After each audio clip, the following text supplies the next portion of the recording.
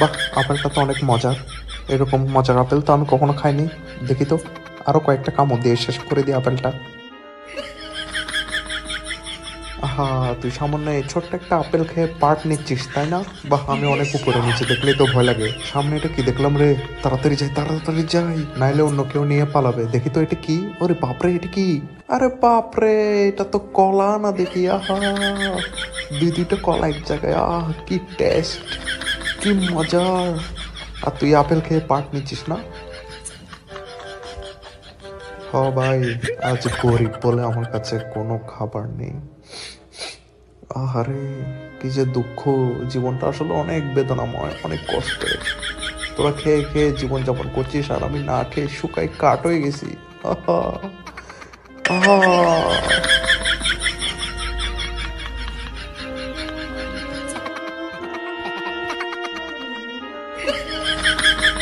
না, আর কি করার? আঙ্গুল হলেও খাই। কিছু করার নাই, নিজের আঙ্গুল নিজে খেয়ে পেটটা ভরিয়ে ফেলি। আসরে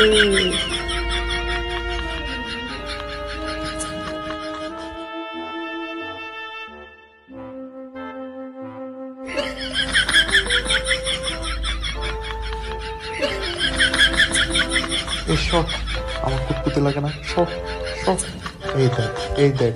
সরতে বলছে, আমার কুটকুতে লাগে না। শট পাখির আবার শুনতেছে কোথায়? পাহ পাখি দেখা যাচ্ছে। একবার চোখের সামনে এরকম মজাদার খাবার। চলে আসলে কি লোভ সামলানো যায়? হ্যাঁ এত সুন্দর পাখি। আয় হ্যাঁ। এটা কই? এটা মা, এটা কি? পাখিটা ধর- ছোঁয়ার বাইরে কেন? ধোকা, সম্পূর্ণ ধোকা। কই রে পাখি তুই পাখি তুই কই? তুই ওখানে ভিতরে কি করিস? তুই থাকবি বাইরে, তুই ভিতরে কি করিস? এ আল্লাহ, এ মানব জাতি আমাকে ধোকা দিয়ে দিল সম্পূর্ণরূপে ধোকা দিয়ে দিল, ও মানব জাতি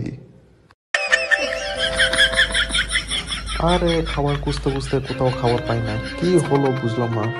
খাবারই পাই না কোথাও। কি যে খাই, বহুত খিদা লাগছে রে বন্ধু। তুই দোকানে শুয়ে আছিস? আর আমি সারাদিন খুঁজতে খুঁজতে একটা খাবার পাই না। এই কিছু একটা দেখছি মনে হয়। হ্যাঁ ওটা কি? কিছু একটা দেখছি, দাঁড়া। আসতেছি আমি। এই দুর্ভিক্ষের টাইমে খাবার না পেলে তো কি হয়েছে? নিজের হাত হলো চাটি নিজের হাত চারটাই মজাই আলাদা। অনেক মজা লাগছে। হাত চেটে আহা হা হা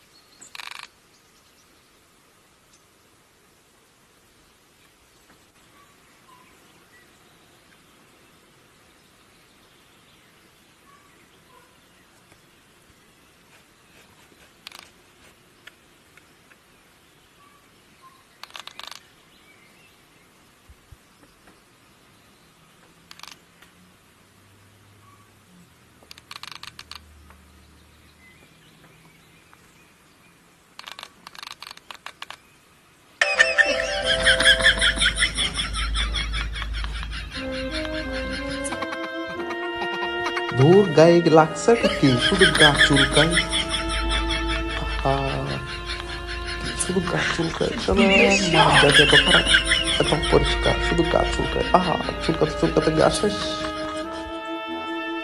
সারাদিন না খেয়ে আছি। আমাদের কি খিদা বলতে কিছু নেই। আমাদের এত খিদা আছে নাকি কোনো পশু তো দেখছি কোনো প্রাণী তো দেখতেছি না। শিকার করার মতো কই গেল সব? হ্যাঁ? একটা দুইটা চলে আয়। খাওয়া দিয়ে একবার খেয়ে পেটটা পুড়িয়ে দিই আজ দুর্ভিক্ষ চলে আসার কারণে কোথাও খাবার পাই না। সব খাবারের দাম বেশি। বাবা, কি করব? কিছু খাবার দাও। না, দেখি সামনের দিকে যাই, কিছু খাবার পাই কিনা। কিরে বন্ধু, কি করিস? কি খবর? কোনো খবর টবর নাই যে। বউয়ের সাথে ঝগড়া হয়েছে নাকি হ্যাঁ? আর বলিস না। ভালোই লাগে না দুনিয়াদারি।